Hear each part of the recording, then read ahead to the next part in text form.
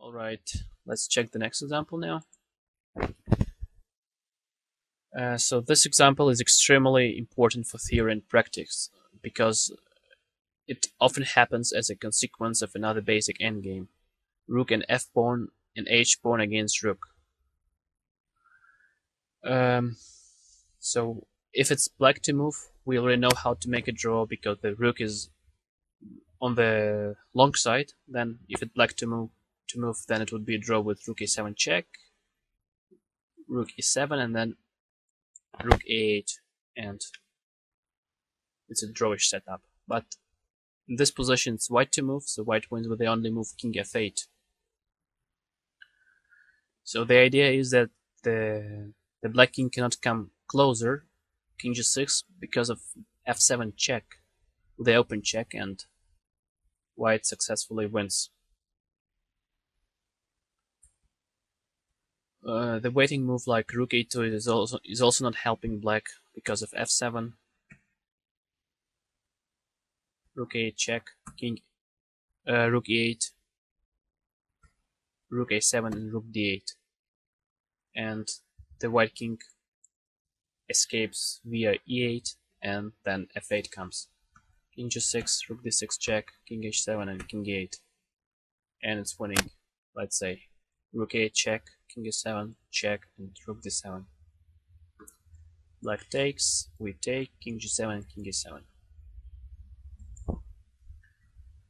So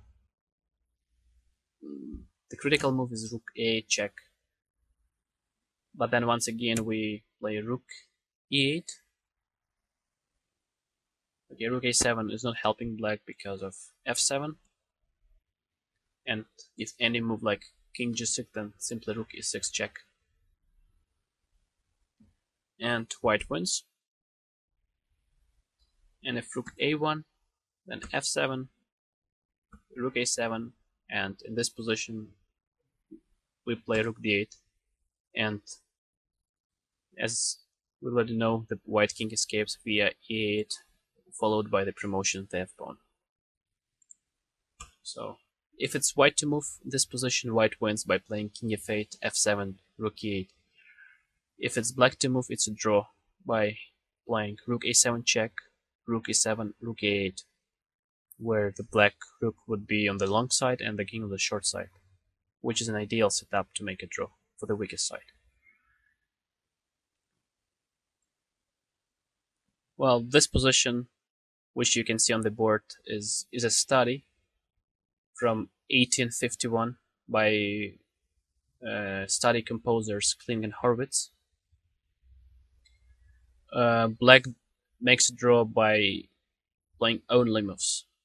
But from the first point of view, it looks like white has to win because the pawn is about to promote and the king on f5 is just too far away to do something but it's not so. Black has to play rook b6.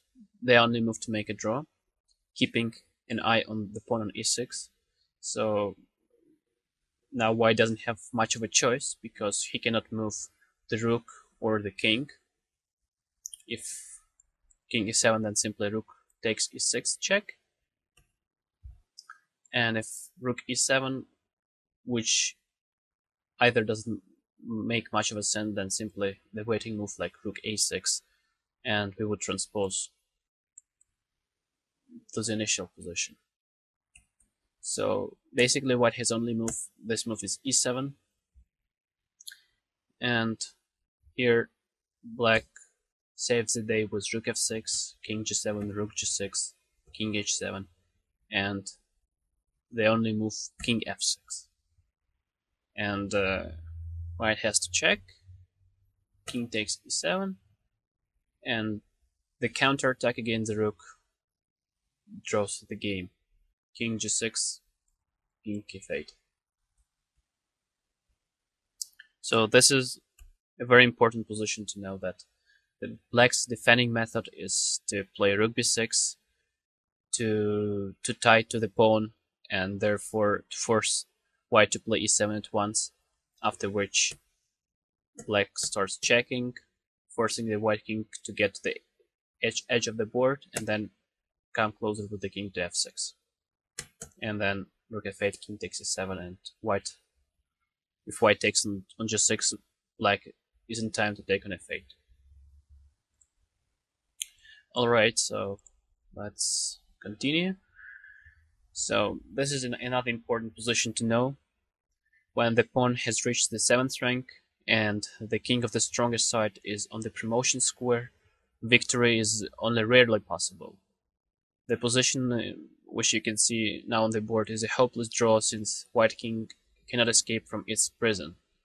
For example, rook h7 check, king c8, rook h2, rook c1.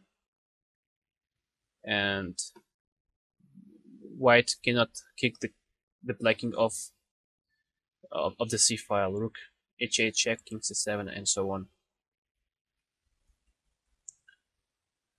Uh, let's see what would happen if the if the black king would be on d file. But it demonstrates that if the king of the weaker side is cut off by two or three files, the correct defense still leads to a draw. So white's only chance uh, to free the, his king is to position the rook on b8, something like this. But it simply takes too much time. For example, rook h3, king c7, and white cannot improve his position. If he plays a move like rook h8, we can transpose to the previous example by playing rook c1, and the black king is even better placed on c file, closer to the pawn. And but if white waits with rook c2, black also can wait with with a move like king d8, and white can't can do nothing with one with a stalled rook. So now let's check what would happen if the king of the weakest side were on the e file, therefore cut off on three files. Uh, even here it's a draw. So three files, it's not enough to win for the strongest side. Because once again, the only plan is to bring the rook to b8. But once again, black is in time to prevent it by playing king c7 and then rook b8, rook c1, and so on. And white cannot improve. White cannot get his king away from the corner. So even this position is a draw. But this position is a win when the king of the weakest side is cut off on the four files. Now, white manages to bring his rook to b8. Rook h3, king e7, hurrying up to, to get to c7, rook h8, okay, eh, king d6. If king d7, then rook b8, rook a1, king b7, check, king a6, check, king b6, and the king escapes from king uh, after king c5. So king d6 here um, is the best defense, not letting the white king to escape uh, with the move king b6, king c5, as it was seen in the previous variation. So White still continues his plan with getting his king off from the corner. Rook b8, rook a1, king b7, rook b1 check. Uh, well, here white has to play king c8 because the variation which we had seen already it's not working here.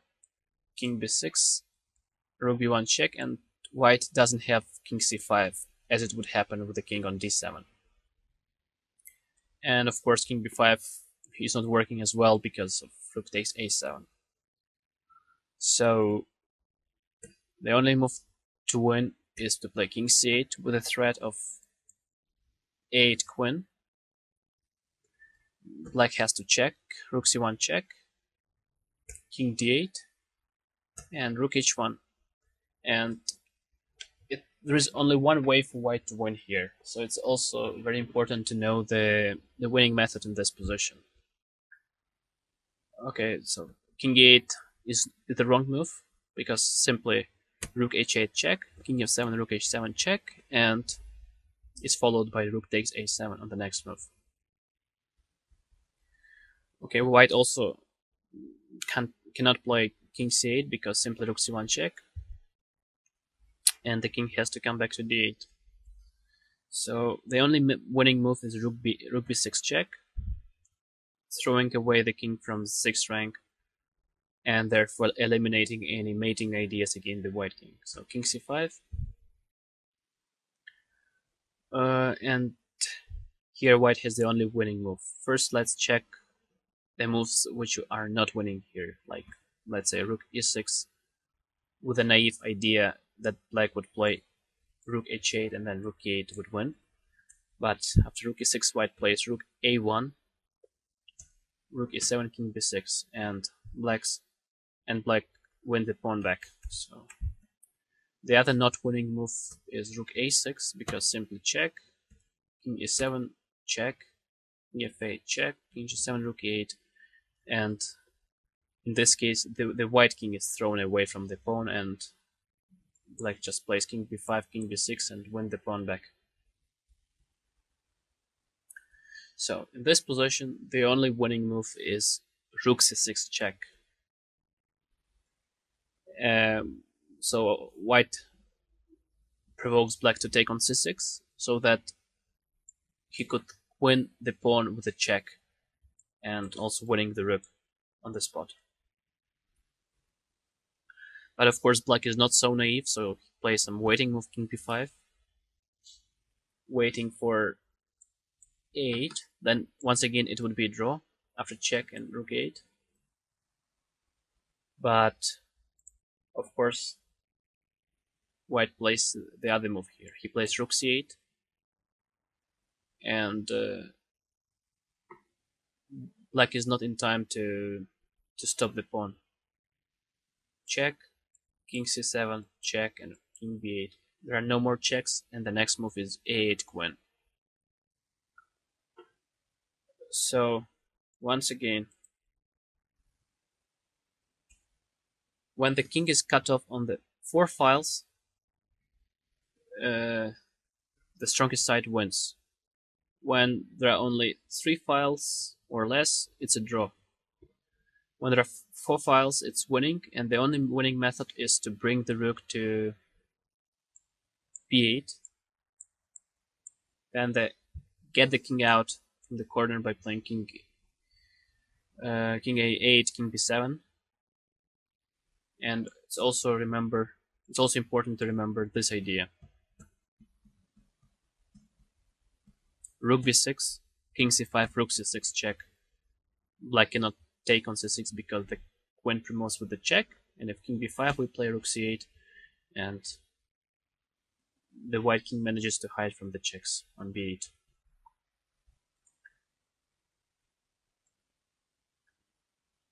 The basic drawn position to remember is shown on the diagram, which you can see on your screen.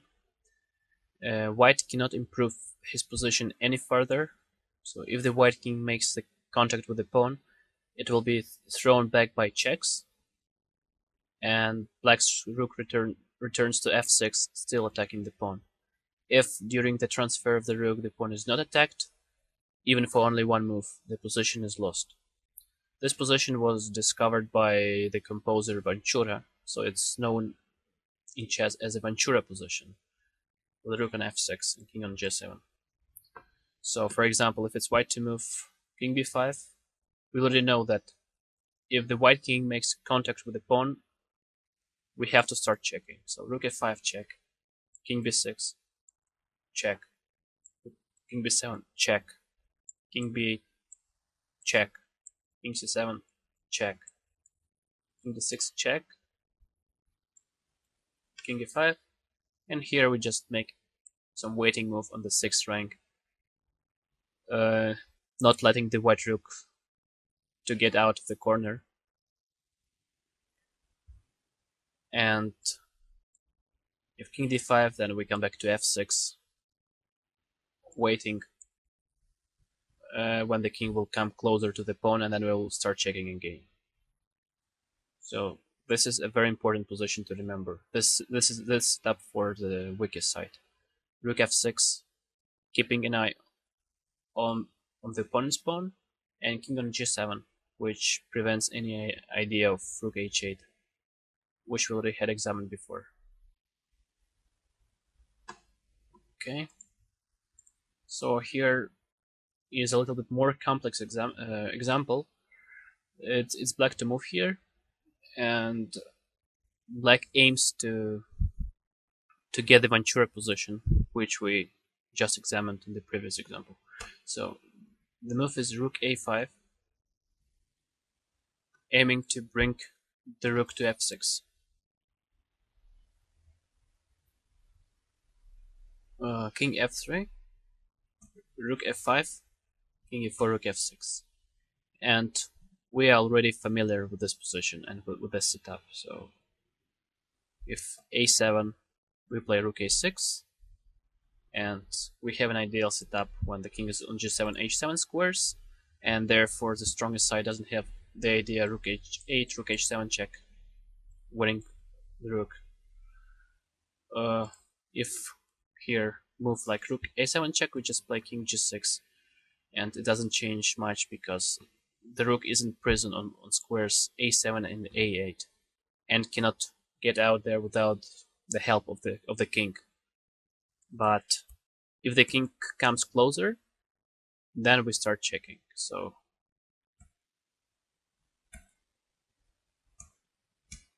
yeah, the idea for black is just to wait on squares g7, h7 with the with the king or and with the rook on sixth rank.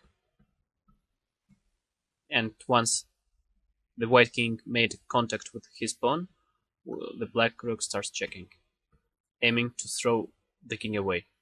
So king b4 we can play rook g4 check, but we also can play rook g6. And when the king comes back to b5, we'll play rook g5 check again.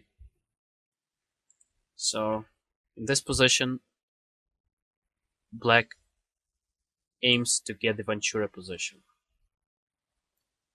It's reached by the moves by the maneuver rook a5, rook f5, rook f6. It's never too late to get wrong uh, to to play a wrong move. So for example, if king f7, then king f3, rook a4, king e3, king g7, king d3, king f7, king c3, king g7, king b3, rook a1, king b4 and uh, black is not in time to bring his rook to f6 and it loses because the white king manages to hide on a7 square and then play rook b8 rook b7 or rook b6 and king b7 and pawn promotes. So once again rook a5 rook f5 check and rook f6